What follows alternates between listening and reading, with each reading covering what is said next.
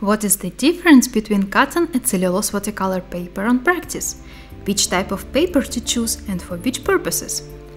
Today we'll see how pigments behave on Arches cold, hot and rough pressed 300 gram per square meter 100% cotton, Fabriano's 300 grams per square meter 25% cotton, and Van Gogh pure cellulose blacks 300% grams per square meter watercolor paper.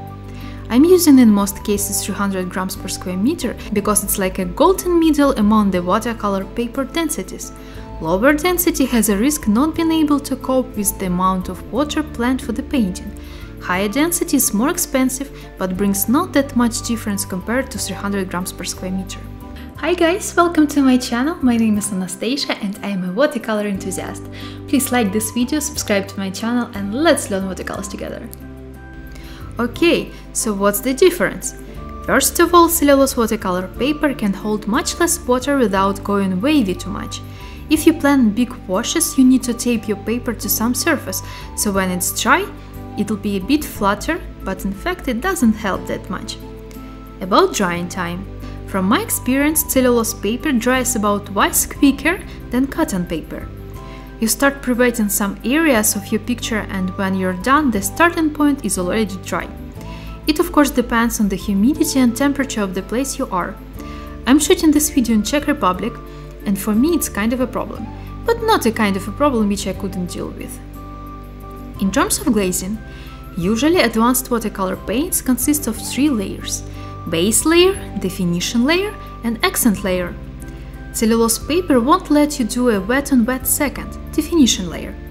Here is a good chance of unplanned lifting colors and or muddy colors when you're trying to glaze different color on the top of already glazed base colors. Wet on dry technique works fine.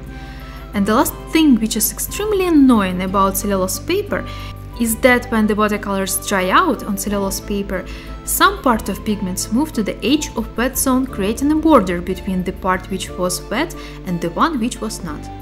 And since cellulose paper dries quickly, this border quite often happens to be inside of the area which initially was wet. If you notice it before it's completely dried, it can be fixed more or less. Once dried, fixing attempts lead to unplanned lifting colors and overworking the paper. 100% cotton watercolor paper doesn't have problems listed before. Once dried, it won't look like a dried autumn leaf. It will be a bit wavy, but not extremely. It stays wet enough time to work wet on wet comfortably. It allows glazing wet on wet a reasonable amount of times, and here the quality of watercolors come in place, but 100% cotton paper allows you to produce smooth transitions without visible pigment borders. That's why it's much more expensive. It makes artists' lives easier. In terms of texture of 100% cotton paper, there are three types of texture cold pressed, hot pressed, and rough.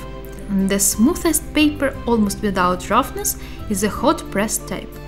It's good for very detailed paintings with thin lines. Middle roughness goes to the cold pressed paper. It's the most popular type of watercolor paper because on the one hand you still can draw detailed paintings and on the other hand it has a very nice texture which you expect to see on watercolor paintings. Rough watercolor paper has the strongest texture. It's hard to draw small details on this paper, but for example landscapes could get an interesting mood once painted on it. As a conclusion, 100% cotton paper, I would recommend to start from 300 grams per square meter cold pressed, is highly recommended even for beginners, of course if you have a budget for it. If not, you can go with some cotton percentage, like 50%, 25% cotton, etc. Because you need kinda different skills to paint on 100% cotton paper and cellulose paper. Working with cellulose paper is much harder.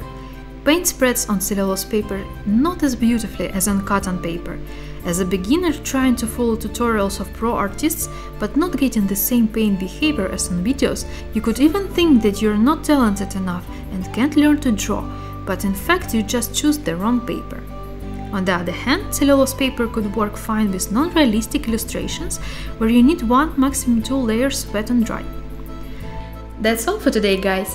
I hope this video helped you to figure out the differences between types of watercolor paper and now you feel a bit more comfortable for making a choice. If you have any questions, please let me know in the comment section down below and see you in the next videos. Bye!